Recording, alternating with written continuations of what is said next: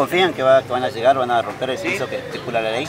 Mira, nosotros nos sentimos satisfechos, confiados. Ojalá que la gente haya comprendido el mensaje y que nos dé la oportunidad de poder tener una voz diferente a los partidos tradicionales y que hay una voz que represente a los trabajadores y a los sectores digamos, populares. muchas gracias. ¿Cómo se, ve, ¿Cómo se ve ahora el panorama el día de hoy? Mira, por, por ahora, bueno, escuelas todavía no han abierto, eh, no se han armado las mesas. Bueno, nosotros vamos a tener paciencia, pero bueno, ya usted como ustedes ven, digamos, hay muchas personas que quieren emitir su voto.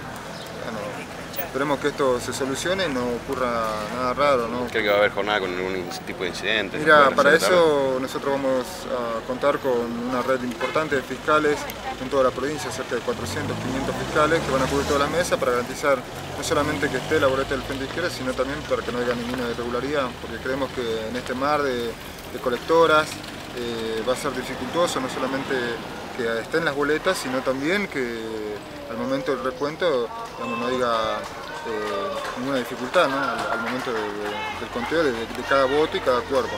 ¿Qué está pasando en el colegio que todavía no abrieron? No, hay una dificultad que todavía no se han conformado las mesas, no han llegado los presidentes. Así que bueno, de todas formas ahí están las autoridades del Poder Electoral tratando de que se conformen. ¿Se repite lo de las pasos? Sí, sí, hay generalmente en varias escuelas de esto. Es lamentable porque hay muchos eh, trabajadores que quieren emitir su voto porque tienen que ir a, prestar servicio en ese lugar de trabajo.